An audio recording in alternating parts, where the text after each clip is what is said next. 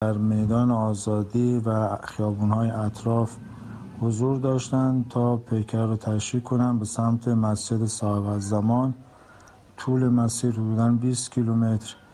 مردم در انتظار پیکر شهید قاسم سلیمانی بودند. تجمع زیادی در ابتدای خیابان بهشتی سمت میدان آزادی مردم حضور داشتند و عزاداری و سینه زنی می‌کردند. و مسیر رو شروع می‌کنه به طی طریق کردن.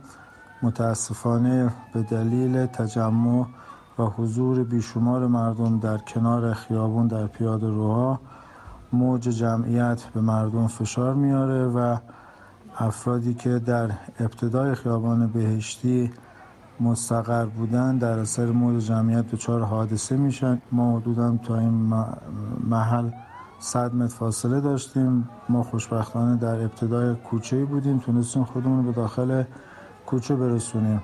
با حرکت ماشین و رفتن موج و ازدهام در بین مردم کم می‌شد.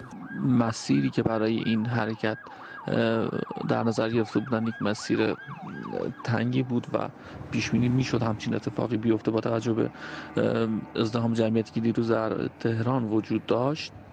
این انتظار می‌رفت. اما بدون در نظر گرفتن این مسائل اومدن این خیابان رو برای ازدهام در نظر گرفتن و این اتفاق افتاد. مسیر کاملا یک طرفه بود. هیچ راه برگشتی برای مردم وجود نداشت. همچنین کوچه های اطراف هم به دلایل متفاوتی بسته بود.